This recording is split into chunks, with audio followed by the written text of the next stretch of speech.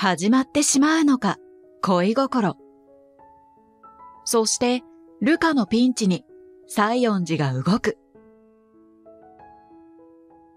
西園寺さんは家事をしない。とりあえず検証をしようということで始まった偽家族生活ですが、思っていた以上にうまくいくどころか、西園寺はくすみ家の家族問題にもぐいぐい向き合い、どんどんいい方向に向かっていきましたね。次回はなんと、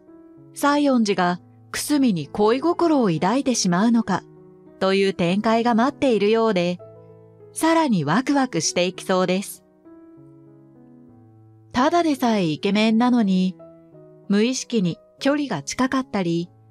パッと人に触ることに抵抗のないくすみの行動は、そりゃドキドキしてしまいますよね。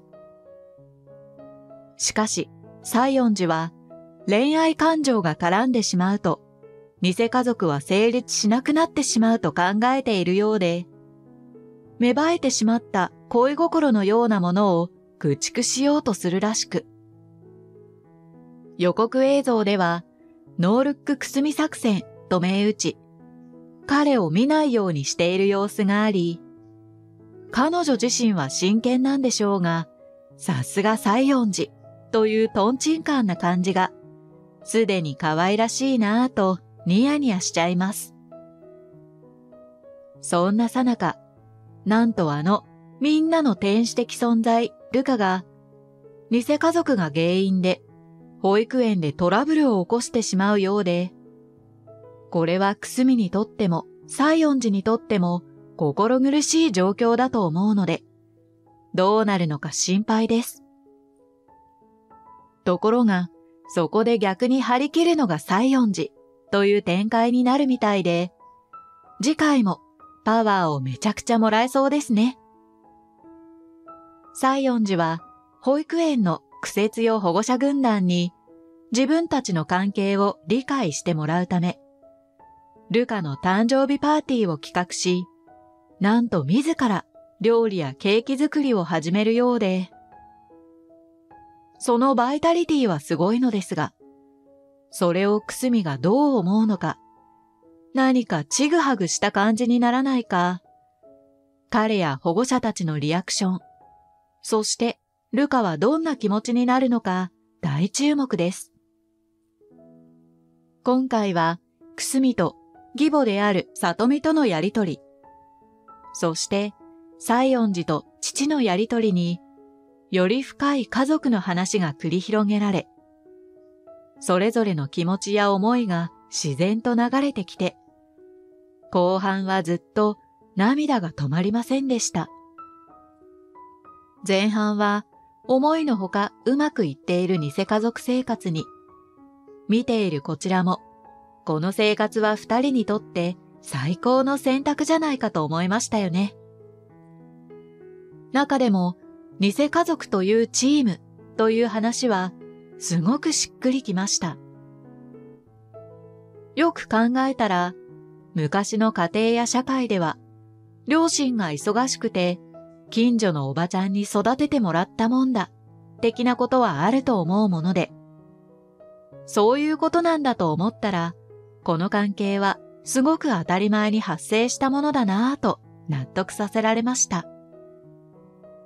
偽家族を始めた西園寺の行動一つ一つが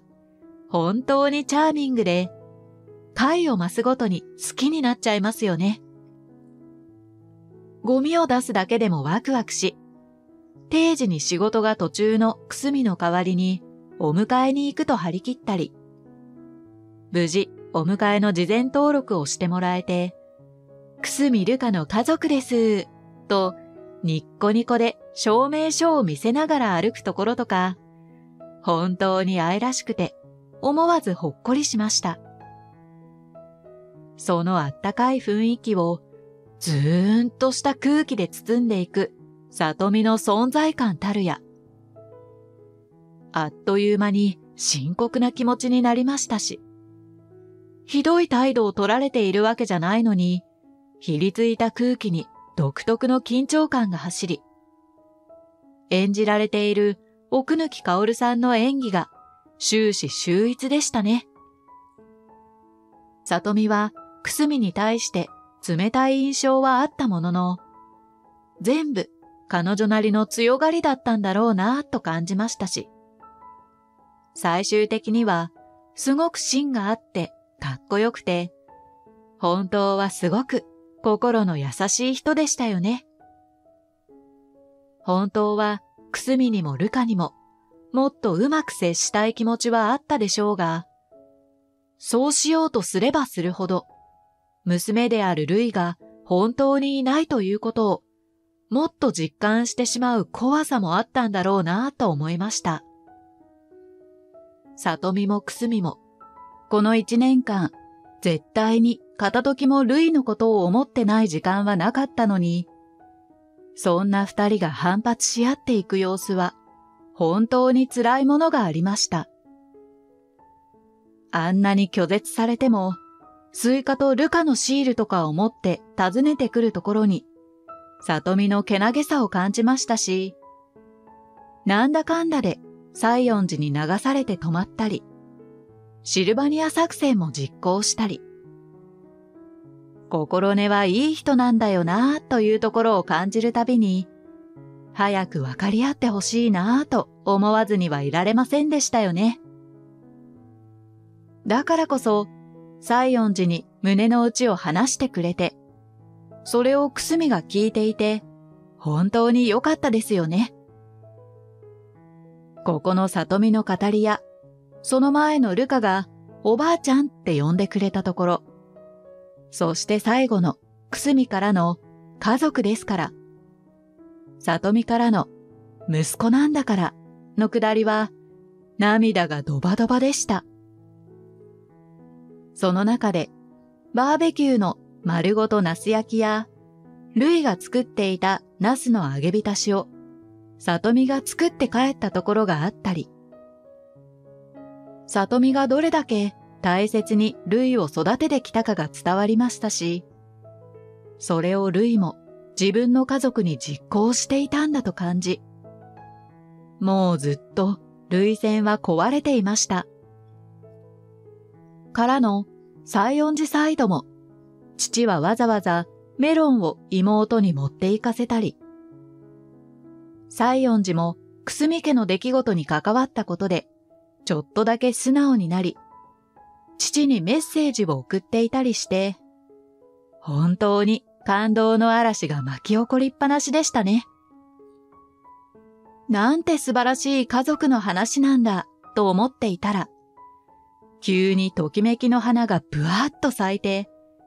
また違う感情で胸がいっぱいになりましたよね。